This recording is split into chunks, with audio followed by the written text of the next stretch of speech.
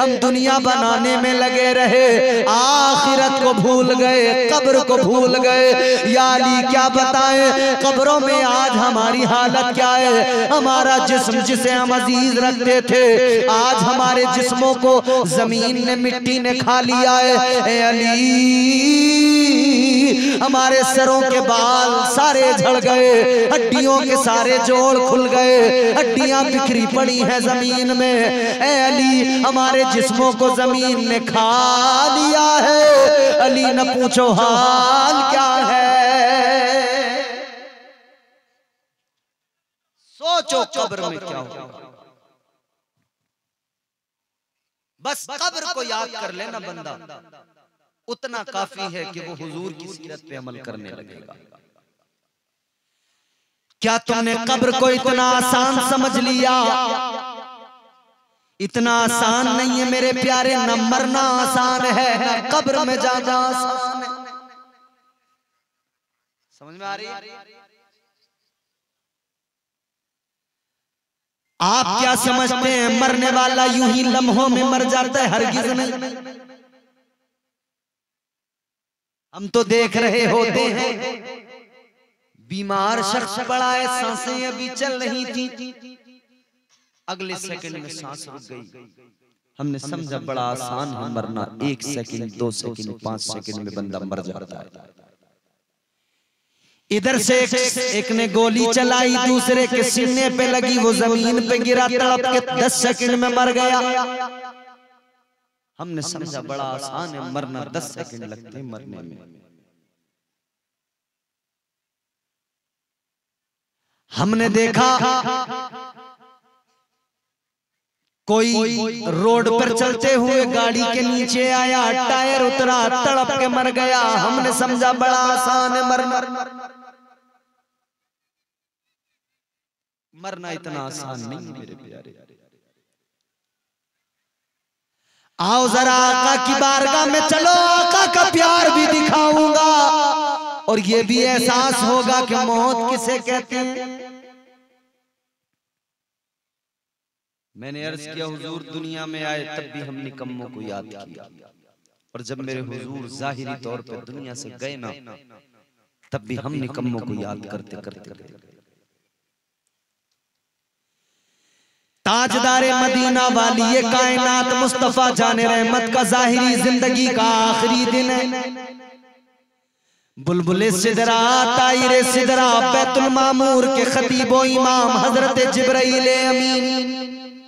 हाजिर दरबारे रिसालत है हाथ बांधे खड़े हैं अदब का मुरक्का बने बालों पर समेटे हुए अर्ज़ करते हैं या रसूल अल्लाह ताजदारे मदीना मेरे पीछे ये मलकुल मौत मौत का फरिश्ता खड़ा है। आका अगर आप इजाज़त दे दें तो ये आया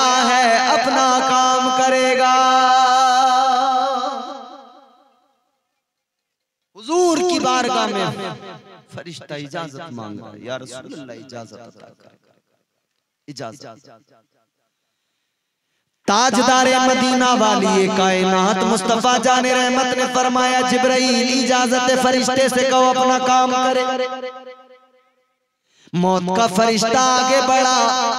तेरे मेरे यहाँ मौत का फरिश्ता आता है इजाज़त नहीं माँगता जवान उठा के ले जाता है। कभी बच्चे लेके चला जाता है। कभी माँ बाप का एक इकलौता सहारा हो उसको लेके चला जाता है। बीवियों को बेवा बना देता है बच्चों को यतीम बना के चला जाता है। मगर ये कभी किसी से इजाज़त नहीं माँगता। किसी के दरवाजे पे आकर दस्तक नहीं देता कि मैं आया हूँ बताओ इजाज़त है या नहीं है? आ जान ले। नबी को अपनी तरह कहने वाले तू भी समझ ले। तेरे दरवाजे पे मलकुल मौत आता है पकड़ के ले जाता है। मेरे नबी की बारगाह ये है। मौत का फरिश्ता भी आया है। तो जिब्राइल को वसीला बना के आका की बारगाह में इजाज़त मांग रहा है इजाज़त मांगी मौत के फरिश्ते ने हुजूर ने इजाज़त दी। अब आप सीने पे हाथ रख के मेरे ये जुमले सुन लेना। ये जुमले अगर तुमने अपने दिल की तख्ती पे लिख लिए खुदा की कसम। मेरी तकरीर सारी बस समझ लो सारी तकरीर का लुबे लुबाब है सारी तकरीर का निचोड़ है ये जुमले। फरिश्ता आगे बढ़ा। आपके मेरे नबी कायनात के इमाम ताजदार मदीना मुस्तफ़ा जाने रहमत की रूह को कब्ज करने के लिए। फरिश्ता जैसे ही आगे आया। रूह कब्ज करना शुरू किया मेरे आका ने फरमाया फरिश्ते तकलीफ़ हो रही है।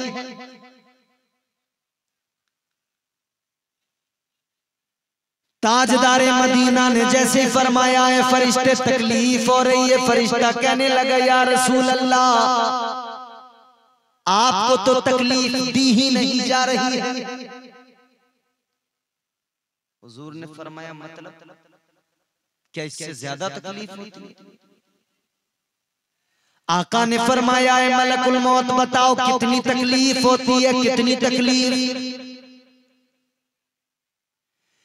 ताजदारे मदीना के गुलाम जरा गौर से ये जुमले सुन लेना। आका ने फरमाया बता मौत के फरिश्ते कितनी तकलीफ़ होती है मौत के फरिश्ते ने कहा या रसूल अल्लाह इतनी तकलीफ़ इतनी तकलीफ़ जैसे ज़िंदा बकरी ज़िंदा जुमले सुनना मेरे। या रसूल अल्लाह जैसे ज़िंदा बकरी ज़िंदा बकरी की खाल को यूँ खींच के उतार लिया जाए। अल्लाह अकबर ज़िंदा बकरी की खाल को। अगर किसी ज़िंदा जानवर की बकरी की खाल को यूँ पकड़ के खींचोगे कितनी तकलीफ़ होगी सोचा कभी? और जरा सी उंगली में ब्लेड लग जाए एक सुई चुभ जाए उछल जाते हो। जरा सा उंगली में कट लग गया बेकरार हो गए तड़प गए उछल गए। कभी सोचा है मलकुल मौत ने कहा या रसूल अल्लाह इतनी तकलीफ़ जैसे ज़िंदा बकरी की खाल को यूँ खींच के उतार लिया जाए। इतना सुना तो आका की आँखों में आँसू। अब जरा मेरे जुमले सुनना। आज की रात में सबसे बड़े अनमोल मोती दे के जा रहा हूँ। दो जुमले पूरी तकरीर पे भारी है। दो जुमले अपने दामन में संभाल के रख लेना। दो जुमले है अपनी झोलियों में समेट के रख लेना ये पूरी ज़िंदगी काम आने वाले हैं ताजदारे मदीना ने इतना सुना, आका की आँखों में आँसू आ गए चश्माने नबूवत नम हो गई, भीग गई। ताजदारे मदीना ने फरमाया, इमामुल अंबिया ने रो के फरमाया, ए मौत के फरिश्ते, ए मलकुल मौत, एक काम करो, जितनी तकलीफ़ देनी है, आज मुझे दे दो, मगर मेरे गुनहगार उम्मतियों को कोई तकलीफ़ नहीं देना।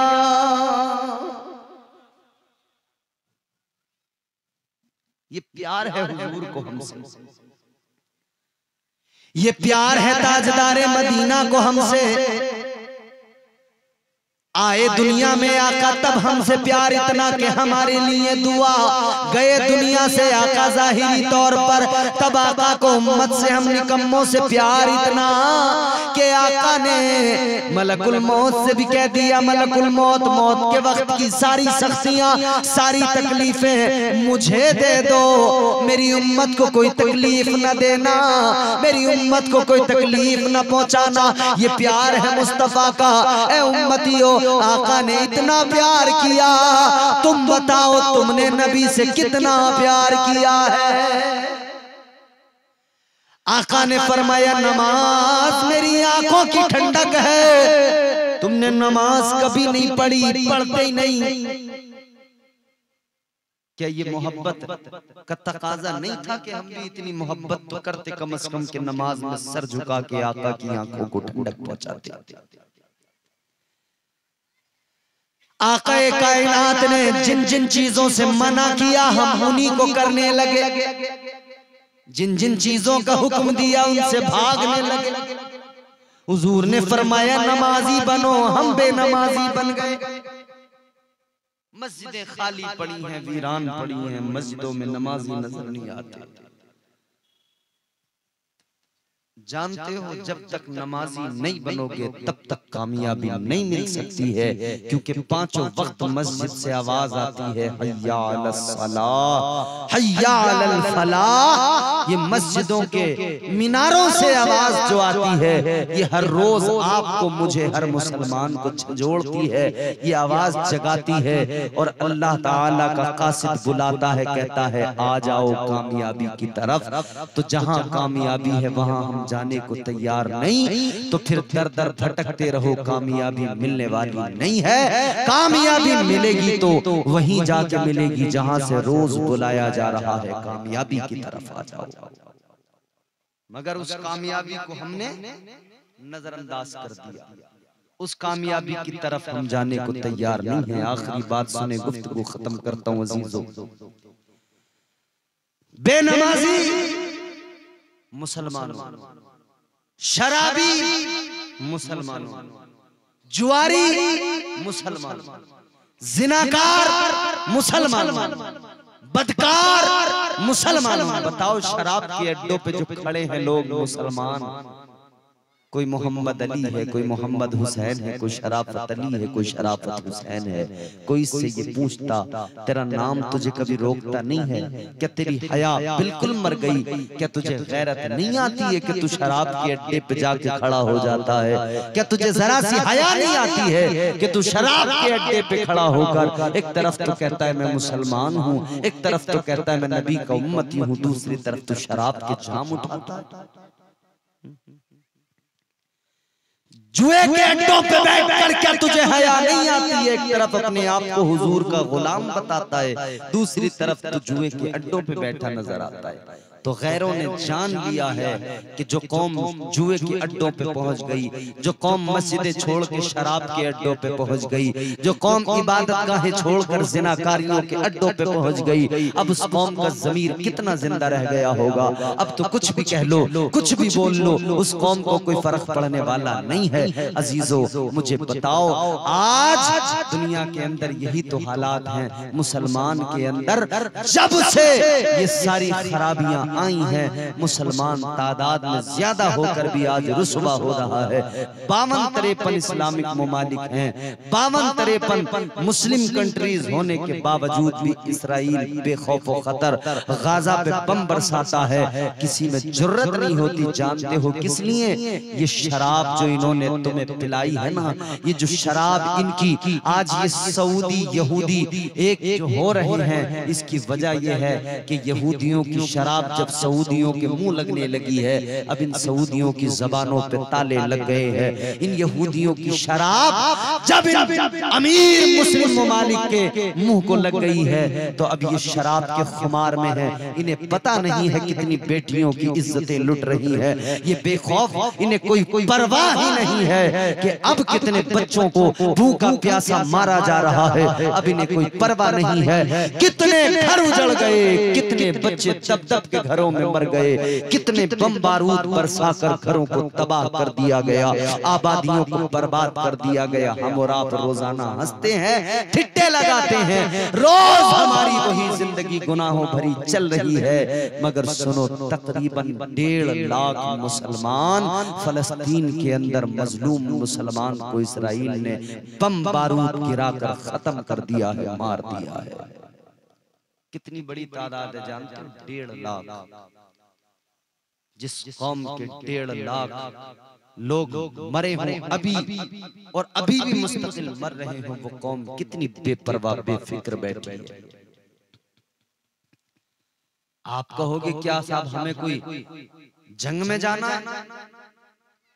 जंग लड़ने वाले मुजाहिद जंग लड़ रहे हैं। तू बस अपने आप से जंग कर ले। तू अपने नफ्स से जंग कर ले तू बस सब कुछ छोड़ के मस्जिद में चला आ। तू शराब के अड्डे छोड़ के मस्जिदों में आके बैठ जा। तू जुए के अड्डे छोड़ के मस्जिदों में सर झुका ले। देखना सारे हालात खुद ब खुद बदलेंगे। क्योंकि हालात बदलने वाली जात अल्लाह की है। इम्तिहान का वक्त है। होश और सब्र से भी काम लो होश के बिना खून लो। और नमाजी बनो शराब से दूर रहो परहेजगार बनो। अपने आप को बदल डालो वरना याद रखना इकबाल ने कहा है गलत रवि से मनाजिल का दौर बढ़ता है। गलत रवि से मनाजिल का दौर बढ़ता है। मुसाफिरो रवि से कारवा बदल डालो कि मोहम्मद से वफा। तूने तो हम तेरे हैं। ये जहाँ चीज़ है क्या? लोहो, कलम तेरे है, सारी दुनिया तेरी है, तू नबी का हो जा। सारी दुनिया तेरी है, तू मुस्तफ़ा का गुलाम बन जा। सारी दुनिया तेरी है, सारी दुनिया पे हुकूमत तेरी थी, तेरी ही रहेगी। शर्त इतनी सी है कि तू तू अपने प्यारे आका के फरामीन के मुताबिक ज़िंदगी गुजार ले। हराम लुकमों से बच जा, नमाजी बन जा, परहेजगार बन जा, शराब जुआ जिनाकारियाँ, बदकारियाँ छोड़ दे। यकीनन अगर आज भी मुसलमान अपने तर्ज जिंदगानी को बदल डाले। खुदा की कसम किसी माँ ने ऐसा लाल नहीं जना है जो मुसलमान के मुकाबले आकर खड़ा हो जाए। मुसाफिर रविश कारवां बदल डालो। मुसाफिरो रविश कारवां बदल डालो। अल्लाह ताला हम सबको दुनिया भर के मुसलमानों को अपने सलीम दे कि हम अपने आप को देखें अपनी जिंदगियों को देखें अपनी जिंदगियों का मुहासबा करें और अपने अंदर तब्दीली लाएँ। अल्लाह हमारी कौम को दुनिया और आखिरत के तमाम अजाबों बलाओं वबाओं मुसीबतों से महफूज फरमाए और नेक आमाल की तौफीक अता फरमाए। दौरान गुफ्तगू जो मुझसे गलतियाँ हुई हो अल्लाह ताला मुआफ फरमाए। कलमा शरीफ पढ़ें ला इलाहा इल्लल्लाहु मुहम्मद रसूलुल्लाह सल्लल्लाहु अलैहि वसल्लम वमा अलैना।